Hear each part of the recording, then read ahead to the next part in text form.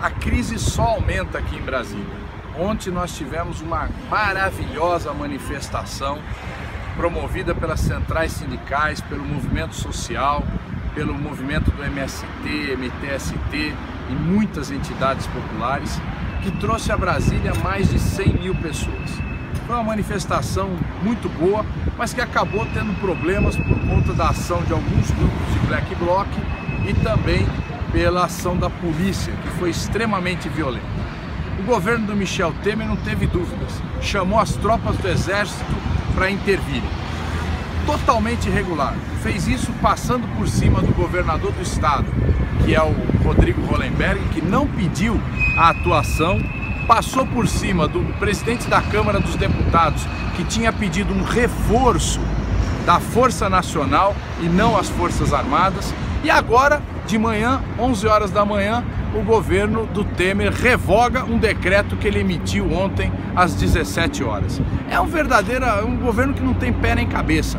É um governo que tem um único objetivo: retirar direitos do povo brasileiro, fazer com que o povo brasileiro perca o direito à aposentadoria, perca o direito aos direitos trabalhistas e entregar o patrimônio nacional, entregar o patrimônio do pré-sal, nossa maior riqueza, fazer com que a gente perca é, as nossas terras, entregar terras brasileiras para empresas estrangeiras.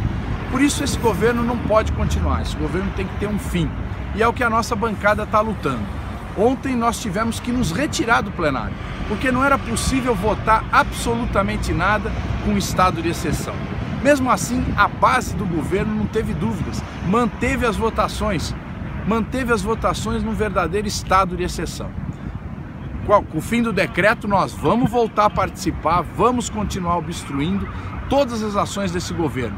Porque esse governo, um governo que não respeita o Congresso Nacional, o Congresso do povo brasileiro, um governo que usa uma maioria eventual para passar por cima de direitos. Esse governo não pode continuar. Nós estamos nessa luta e é importante a gente engrossar as manifestações em todo o Brasil.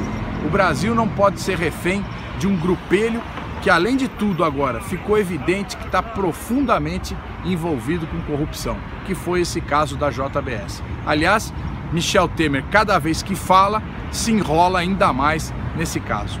Vamos acabar com esse governo, vamos ter eleições diretas, o Brasil tem que voltar para a democracia e o povo brasileiro tem que ser feliz novamente.